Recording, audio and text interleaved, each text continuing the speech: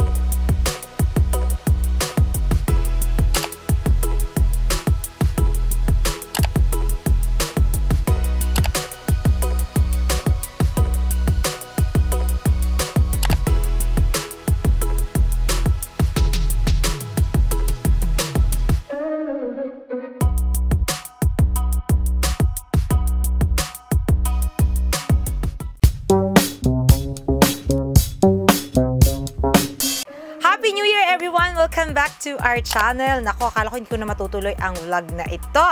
So as you can see, iba po ang ating background dahil nasa Katarman tayo ngayon. Ito yung aking ah, second branch.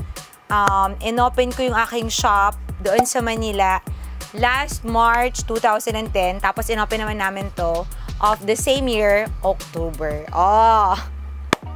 So ngayong araw na to, dahil bagong taon, pag-uusapan natin kung paano mag-open ng isang clothing shop or boutique. Okay? Kung ikaw ay ang matagal ng online seller, nagbebenta ng mga damit online for the longest time at balak mo nang mag-open ng shop, ang video na ito ay perfect na perfect para sa'yo. Kung gusto mong ah, magtayo, continue na lang panoorin ang video na ito. Okay, pag-usapan na natin anong mga dapat nyong tandaan para sa pagbubukas ng bago nyong ah, clothing shop or boutique. Pwede nyong ilista or pwede replay nyo na lang mamaya. Okay, let's start po. Kung mag-open kayo ng shop, make sure, okay? Make sure na kaya nang i-cover ng inyong online sales ang pag-open nyo ng shop. Kasi kung utangin nyo lang or maglo-loan lang kayo para pang-open ng shop, nako baka pwedeng i-delay nyo muna kasi hindi maganda na iuutang nyo lang yung pagbubukas nyo ng shop. Kasi ibig sabihin nun, hindi pa kayang i-cover ng inyong um, online sales, ng inyong kita sa online. Okay? So, kung hindi pa kaya, i-delay muna natin ng konti. Next, since mag-open na po tayo ng ating shop, kailangan nyo nang iparehistro ang inyong business. Yes? Kailangan nyo magpa-register sa BIR, sa DTI, and then kapag nakapag-register na kayo, magpo-provide na sila ng resibo para sa inyo. So, that's another cost, magpa-print ng inyong resibo. Also, pag nag-open na kayo ng shop, mangangailangan na rin kayo ng um, by, um, registration para sa sa fire, sa sanitation, and sometimes po yung signage, uh, tanungin nyo sa building or kung saan man kayo uh, kukuha ng pwesto kung merong tax or may bayad ang inyong signage. Okay? So, next naman po, yung inyong pwesto o yung makukuha nyong pinakapagtatayuan nyo ng physical store. So, kung kaya sana, at least kahit papano, fully furnished na kasi mas malaki ang gagastusin ninyo kung ito ay bakante pa. So, if you're gonna start from scratch, yung isipin nyo yung sa tiles, yung pag uh, mga pinturang gagamitin, and of course, kailangan nyo ng window display. So, mag, magpo-provide kayo ng glass para sa window display ninyo. So, i-take into consideration nyo rin yung mga bagay na yan. And of course, yung mga deposits and mga uh, advance payment natin sa ating um, pwestong kukunin. So, minsan, um, one month advance, two month deposit para sa utilities. O, so, tanungin nyo yung inyong landlord or yung may-ari ng um, building or ng pwestong pag-uupahan ninyo. Okay, so next, once na makakuha na kayo ng inyong uh, pwesto, so kung dahil nga magtatayo tayo ng shop, clothing boutique, clothing shop, clothing boutique, marami tayong mga gamit na pangay- nakakailanganin. So, nandyan yung ating mga hanger. Make sure na uh, pare-pareha sila, cohesive tingnan para mas maganda. So, I think yung mga hangers ngayon na magaganda, nag-range na sila from um, I think 10 pesos to 15 pesos depende sa design. Okay? Yung mannequin natin, um, yung mga mannequin namin na Bangkok mannequins, I think 6,000 to 7,000 depende sa klase. Pero syempre, kukuha na tayo ng mas magandang um, quality and uh, itsura kasi for long term naman ang ating paggagamitan nito, okay? And then we also have to consider the lights. Nako, sobrang importante yan kasi kasunod ng lights ng ating mirror.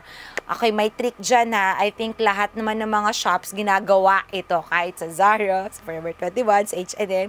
Yung mga salamin na medyo may konting slimming effect. Oh, para naman pag nagsalamin sila at itry nila yung mga damit na to. So, kunwari, tatry nila yung damit na to maganda sila tingnan dahil may meron tayong slimming effect.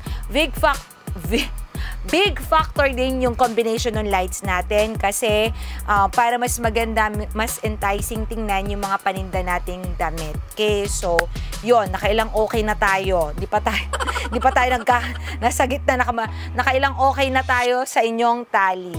So, Uh, pagkatapos yung makonsider yung mga lights, yung mga um, clothes rack, paglalagay, paglalagyan natin ng mga clothes rack, kailangan nyo rin po ng mga riser, yung mga small accents na ganyan kasi di naman pwede na pantay-pantay yung mga damit ninyo. Kailangan um, meron din sila kung sino yung mga matataas para maganda tingnan kayo according to your designs. Tapos minsan din, kailangan natin kumuha ng interior designer. Pero kung kaya nyo naman, pwede. Kasi mahirap naman na basta ipasok-pasok lang natin. Tapos, after 3 months, magbabaklas na naman kasi hindi maganda. Okay. So, there you go.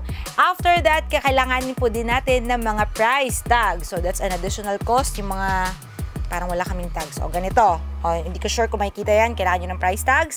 And of course, kailangan din natin sa packaging.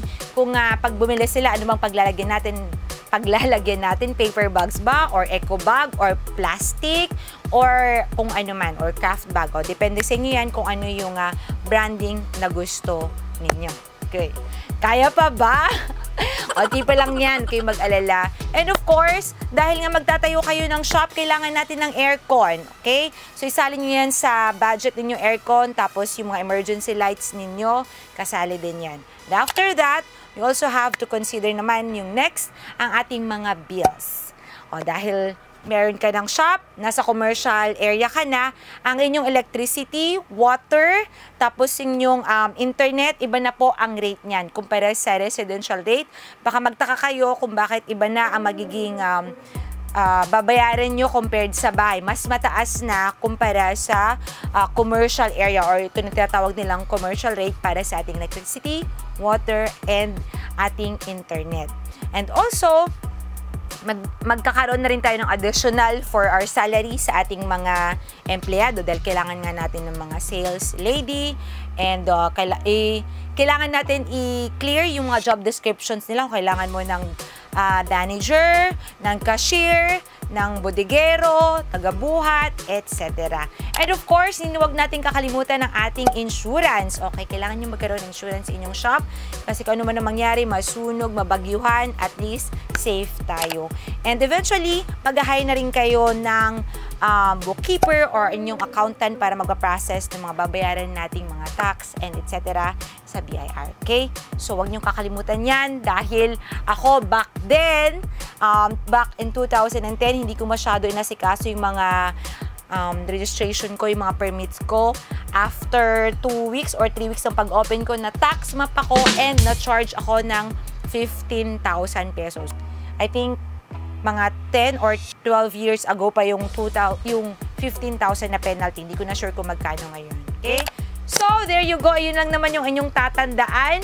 Medyo marami yon pero um, importante na tandaan muna natin yung mga bagay niyan bago tayo mag, mag-open ng ating uh, panibagong shop or ng ating boutique. Alam kong medyo nakakatakot, medyo mahal yon pero huwag kayong mag-alala. Nandito naman ako hindi para takutin kayo but to guide and to remind you yung mga ambitions nyo, yung mga dreams nyo are bigger than your fears. So kung sa tingin nyo kaya nyo na, kaya nang i-cover ng inyong online sales, then go for it. Alright, so that's it for today. Sana may matutunan kayo. Kung meron kayong gustong i-add, huwag kayong mahiyang mag-comment dyan sa comment section. Alright, thank you very much. I'll see you again on my next video.